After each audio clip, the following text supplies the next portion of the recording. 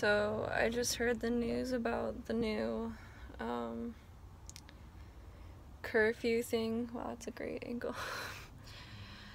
oh my god. I'm just like feel so pissed off right now.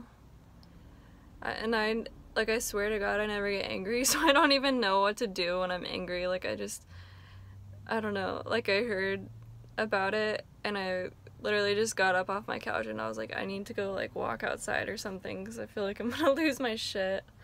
Um fuck, it's just so fucking stupid. I can't I can't believe that this oh my god.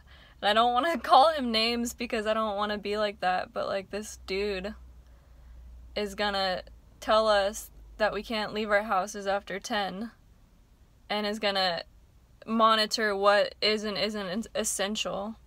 And then this dude is fucking at parties, doesn't give a fuck about the coronavirus or anything because he doesn't like this is all fucking control thing like he doesn't fucking care about it. Like why the fuck would he be out at parties if he you know genuinely is worried about the virus? Like that's fucking stupid um and to be honest with you I really hope people continue doing what they were going to do anyways and I mean, I don't know what the fines are going to be if you are doing something later at night.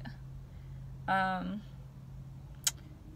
but fuck, like I'm such a I'm such a like rebellious person by nature even though I go to bed or usually I'm home by like 10 like this literally makes me want to like go outside and just walk around past 10 just to like be like, you know, fuck you to the governor.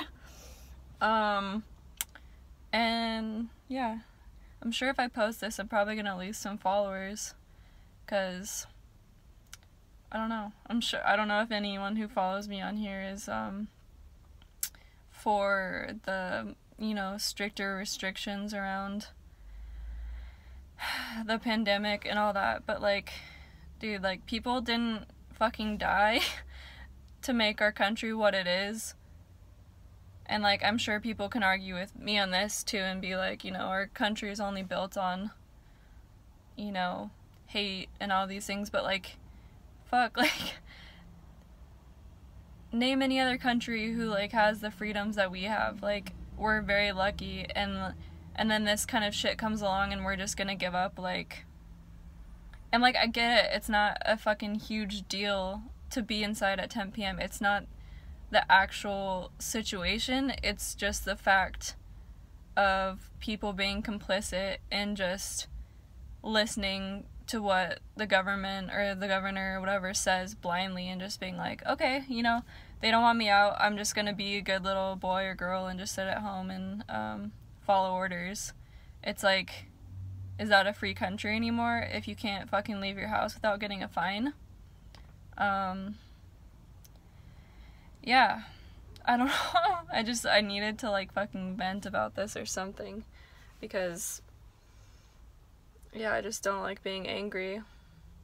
But I really, you know, I don't like being told what to do and I get that that's like you know, how privileged am I that I live in a country where usually we're not told what to do and usually we have so much freedom um, and I'm very grateful for that. But it's like,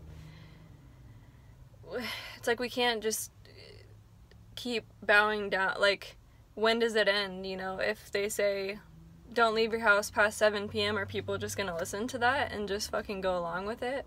Like, what if they tell people to never take off their mask ever again? Like, are they gonna listen to that? Like, in my eyes, I feel like they probably will listen because people don't people aren't independent they just go with the crowd and they like you know they're very complicit i don't know what another word is but they just it's like they don't have a mind of their own to question things and they're just blindly believing everything that they hear on social media or whatever um yeah comment down below if you want to debate this with me or if you agree with me um you know honestly, if you have a different opinion than me, that's totally fine.